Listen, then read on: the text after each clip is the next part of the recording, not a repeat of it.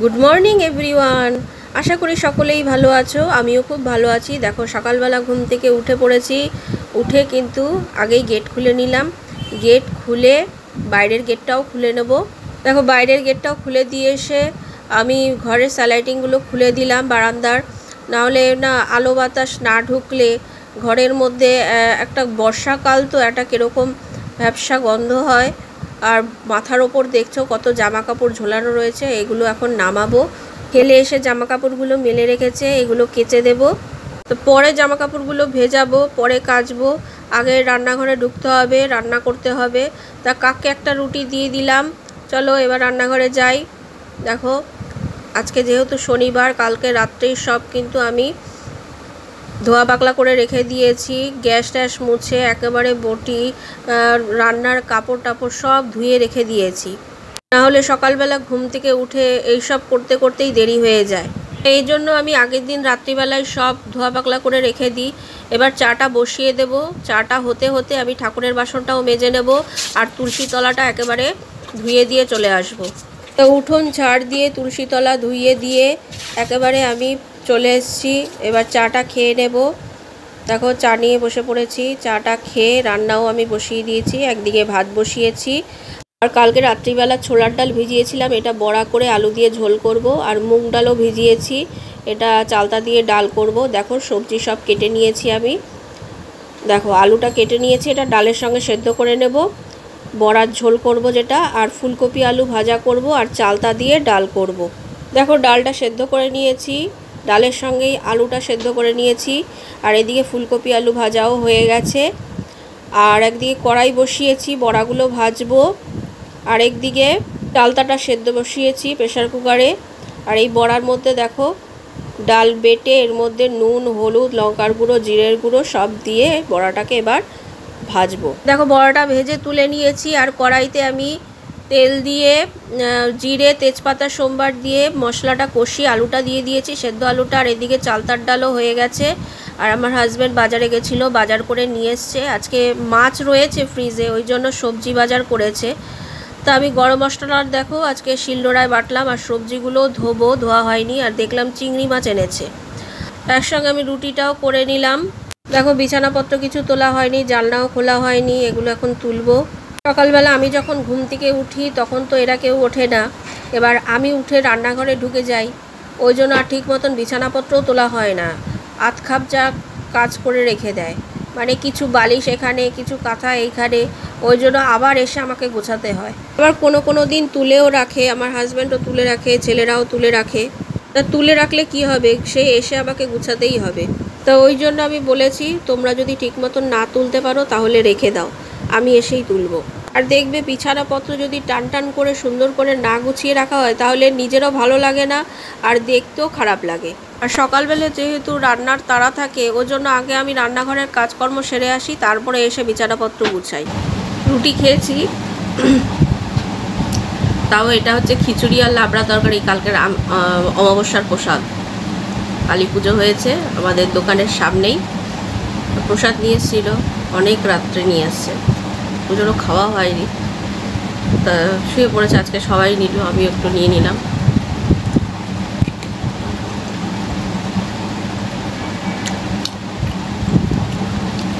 সবজিগুলো এখনও ধোয়া হয়নি। সবজিগুলো ধোবো। জামা কাপড় কাচবো, ঘর মুছবো, অনেক কাজ।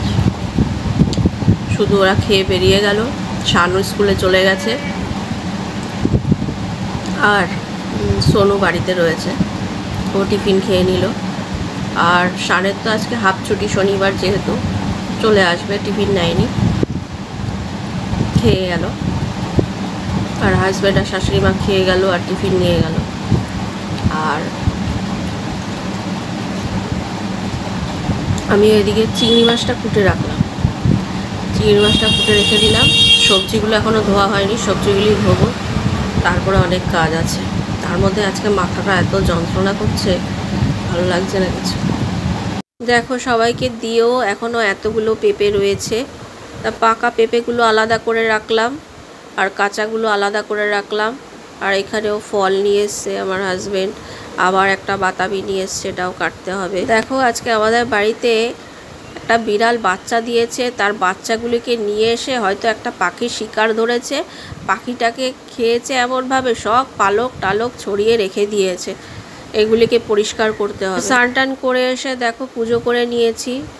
পুজো করা হয়ে গেছে আমার। শানও স্কুল থেকে চলে এসছে।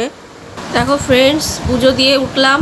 মানে পুজো দিতে দিতে শান স্কুল থেকে চলে এসছে। মানে দেরি হয়ে গেছে, আড়াইটা বেজে গেছে। ও তো দুটোর সময় চলে এসছে স্কুল থেকে। হাফ ছুটি যেহেতু শনিবার, তা ওর আবার তিনটের থেকে পড়া। তিনটের থেকে এক জায়গায় পড়তে যাবে, ওখান থেকেই আবার আরেক জায়গায় পাঁচটার সময় পড়তে যাবে। তা আমার এদিকে পুজো দিতে দিতে দেরি হয়ে যাচ্ছে বলে বলে, মা, খেতে দিয়ে দাও আমাকে। তা আমি বললাম, ঠিক আছে, তাহলে তোরা বস, আমি পুজোটা দিয়ে তারপরে খাচ্ছি। তা ওই অর্ধেক পুজো দিয়ে হাতটা ধুয়ে ওদের দিলাম খেতে। তারপরে আবার আমি পুজো দিয়ে তারপরে খেলাম। এখন তিনটে বেজে গেছে, তাও ও বেরিয়ে গেল। আর এখন প্রচুর মেঘ করেছে, এত গরম লাগছে মানে বিদ্যুৎ চমকাচ্ছে, গর্জন করছে, কিন্তু বৃষ্টি নেই। বাইরে জামা কাপড় মেলা রয়েছে এখনও আনিনি, সবে খেয়ে উঠলাম, এত গরম লাগছে, বাসনও মাজিনি। সবজিগুলো ঢোকানো হয়নি, ধুয়ে রেখে দিয়েছি। সবজিগুলো ঢোকাতে হবে। বাসন মাজবো, বাইরের থেকে জামা কাপড় আনব। কাজের আর শেষ নেই। এত গরম লাগছে না, খেয়ে উঠেছি। বৃষ্টি হচ্ছে না তো, আর প্রচুর রোদ উঠেছিল। আর বৃষ্টিটা হলে যদি ঠিক মতন বৃষ্টিটা হয়, তাহলে একটু ঠান্ডা হবে। আর যদি ছিটে ফোটা বৃষ্টি হয়, তাহলে আরও গরম লাগবে। এক বাইরে হাওয়া দিচ্ছে, দেখছি। তো ঠিক আছে ফ্রেন্ডস কাজগুলো করি। এখন ফ্রেন্ডস এখন সাড়ে পাঁচটা বাজে। তখন তো তোমাদের বললাম বাইরে দিয়ে জামা কাপড় আনব, বৃষ্টি হয়নি। কিন্তু মেঘ করে রয়েছে, যাই হোক জামা কাপড়গুলো নিয়ে এনে তারপরে বারান্দায় মেলে দিলাম। আর বাসন মাজলাম, সবজিগুলো ঢুকিয়ে রাখলাম। সোনু বলল, আমার পাঁচটায় পড়া আছে। ও আবার পাঁচটার সময় পড়তে চলে গেল। শান্ত আগেই চলে গেছে। ও দুটো টিউশন করে তারপরে বাড়িতে আসবে। আর সোনু পাঁচটার সময় চলে গেল। আমি এখন ফিল্টারটা পরিষ্কার করলাম। ফিল্টারটা অনেক দিন ধরেই ভাবছিলাম পরিষ্কার করব পরিষ্কার করব, সময়ই পাচ্ছি না। তা ফিল্টারটা পরিষ্কার করে জল টল ঢেলে আসলাম। তা এখনও সন্ধে হয়নি। একটু বসি পাখার তলায়। তারপরে সন্ধে টন্ধে দিতে হবে। ঠিক আছে, আবার ওরা আসলে ওদের কিছু দিতে হবে। খেতে। ঠিক আছে। দেখো সন্ধে টন্ধে দিয়ে কি নিয়ে বসেছি দেখো। এই দেখো। এটা কি বলো তো তালগোলা নয় কিন্তু। ওরকম দেখতে লাগছে, কিন্তু নয়। এটা হচ্ছে কালকে আমার হাজব্যান্ড পেঁপে পেরেছে। তোমাদের তো দেখালাম, সবাইকে দিয়েও কত পেঁপে রয়ে গেছে। তা ওই পেঁপে ও কি করেছে? পাকা পেঁপেগুলো তলায় রেখেছে, ব্যাগ নিয়ে উঠেছিল। তলায় রেখেছে আর ওপরে কাঁচা পেঁপেগুলো রেখেছে। আর সব পেঁপেগুলো একদম থেতলে গেছে।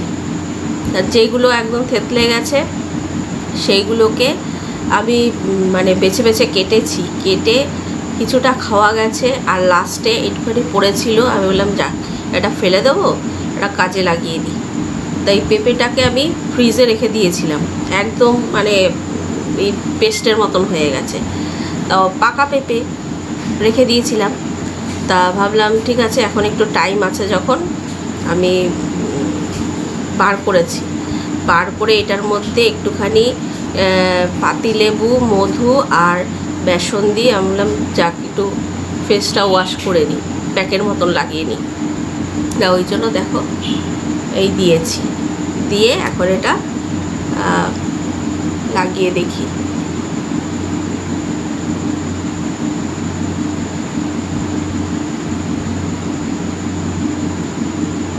ভাবলাম জিনিসটা নষ্ট করে কি হবে? কাজে লাগিয়ে দিই।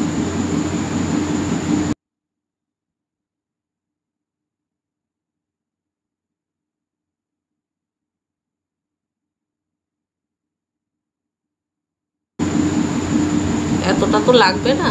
রেখে দেবো ফ্রিজে কালকে আবার লাগাবো।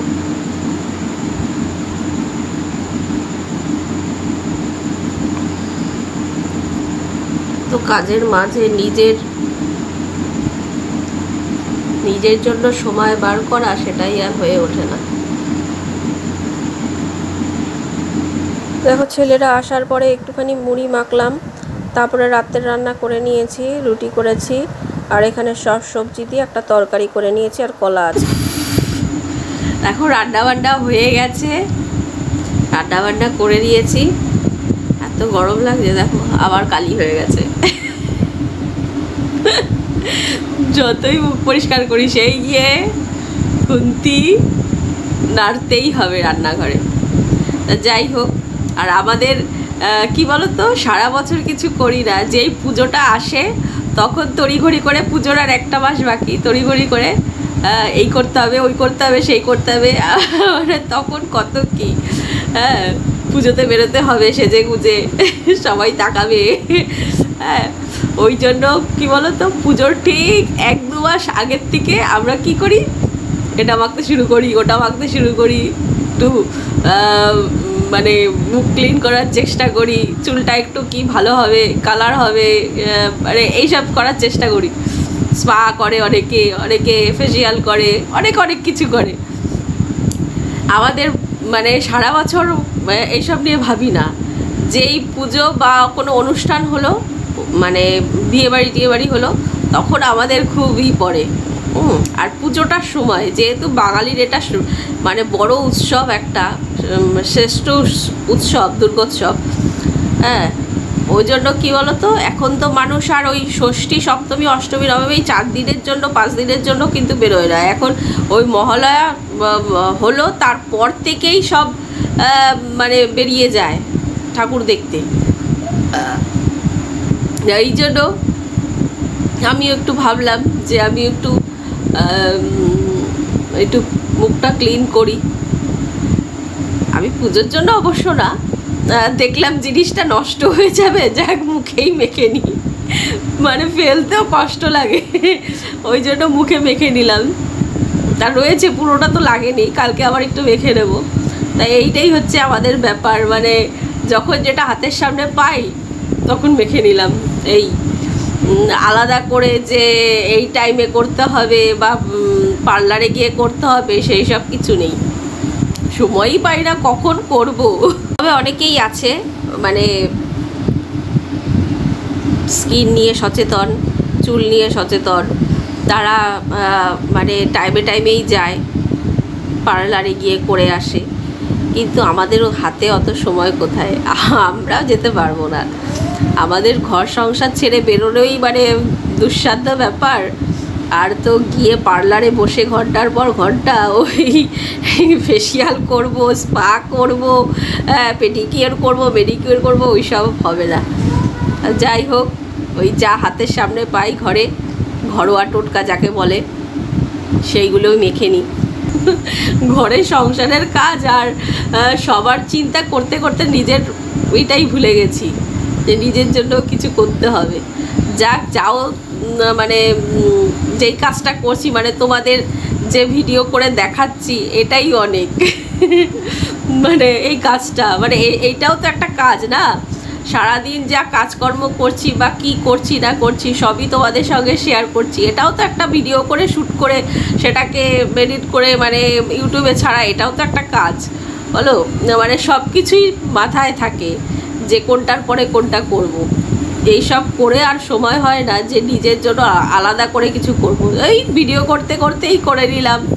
হ্যাঁ যাই হোক, ঠিক আছে?